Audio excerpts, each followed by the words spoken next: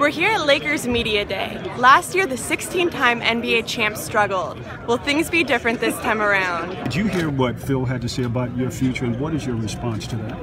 What is my response to it? I mean, it's. Mm-hmm. I mean, I can't spend my season responding on, with, you know. No, but because he was says. he was your coach and he was so close, he was talking about maybe this is this may be your last year, but not the last year for you to play basketball.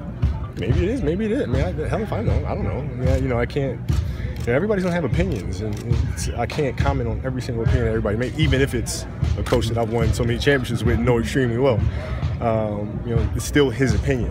You know, and uh, Kobe, there'll be many others, I'm sure. How's, how's the emotional Kobe now different maybe five years ago, and being able to deal with the last couple of years the way you've had to? I'm, I'm much more patient with you guys, which means I'm still extremely impatient, but it's, it's more patient than I used to be. How about that? But overall, though, and, and with the team itself and your own expectations, Um, no, I'm excited about it. I'm excited to be back on the court. I'm excited to be out there with uh, these young players who are starting their careers, starting their journeys. I'm excited to help them out and, and, and uh, kind of show them um, things that I've learned.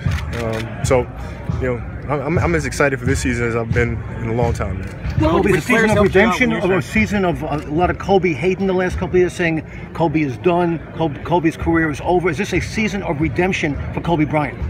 That's been every year for me. I mean, it's, it's, it's been some form Redemption. of criticism. Yeah. It's been some form of criticism every single year. So it's it's uh, it's old hat for me. I'm, I'm used to dealing with all that stuff. It don't mean nothing to me. Kobe, every year you said is a learning curve for you. What's the learning curve heading into this season? Well, how quickly we can grasp you know, concepts, pro concepts, because we have a lot of young guys, right? So it's a matter of how quickly we can, you know, they can transition out of uh, um, collegiate style of ball to the pro style of ball. It's a different pace, different strategy, different concepts, right? Um, so that that's going to be fun to go through. Kobe, what'd you, How, how do you think you guys will measure? Say again? what'd you do to prepare intellectually for the season? Are the people you're talking out, out, reaching out to and talking to, trying to learn from, things you're reading? No, you know, it's just just uh, you know, you can find inspiration everywhere. Honestly, I mean, once you you know have your sights set on on uh, what your objective is, you can literally pull inspiration from everywhere. So to answer your question, it's you know, it's uh, anything and everything. Kobe, ¿qué podemos esperar de los Lakers? Vamos a ganar, ¿no? Claro. I'm Melissa Rohlin reporting for the Los Angeles Times.